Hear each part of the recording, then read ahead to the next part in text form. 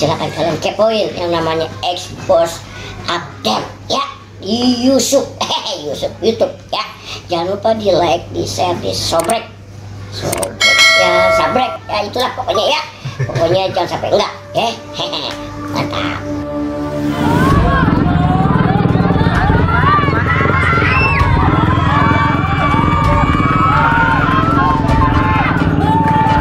Seperti inilah suasana di lokasi pondok pesantren Al-Qanaah yang ada di Desa Karangmukti, Kecamatan Karangbahagia, Kabupaten Bekasi, Jawa Barat. Saat ratusan warga menggeruduk lokasi pondok pesantren karena adanya dugaan tindakan asusila yang dilakukan oleh oknum guru ngaji dan pemilik ponpes terhadap sejumlah santriwatinya.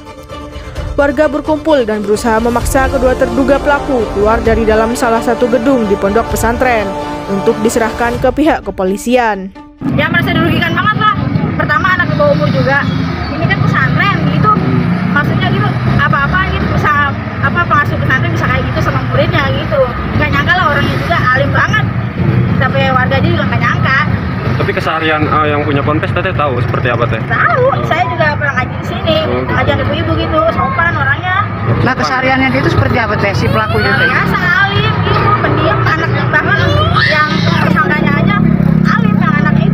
Tapi eh, sebelumnya teteh pernah ngeliat eh, apa eh, kegiatan-kegiatan yang janggal nggak di sini? ya nggak soalnya tertutup Oh tertutup. Iya, tertutup. Warga aja nggak bisa lihat ke dalam. Warga yang emosi bahkan sempat melakukan perusakan terhadap fasilitas yang ada di pondok pesantren. Aparat kepolisian dari Polsek Cikarang Utara dan Polres Metro Bekasi yang tiba di lokasi langsung berusaha mengamankan kedua pelaku dari amukan warga. Wakasat Reskrim Polres Metro Bekasi Kompol Widodo Saputro mengatakan, dua pelaku langsung diamankan dan dievakuasi ke Polres Metro Bekasi guna dilakukan penyelidikan lebih lanjut. Saat ini, kasus tindakan asusila di lingkungan ponpes tersebut sudah ada tiga korban yang melapor dan pihaknya masih mendalami dugaan adanya korban lain. Sebanyak delapan saksi sudah dimintai keterangannya dan kasusnya ditangani unit perlindungan perempuan dan anak Polres Metro Bekasi.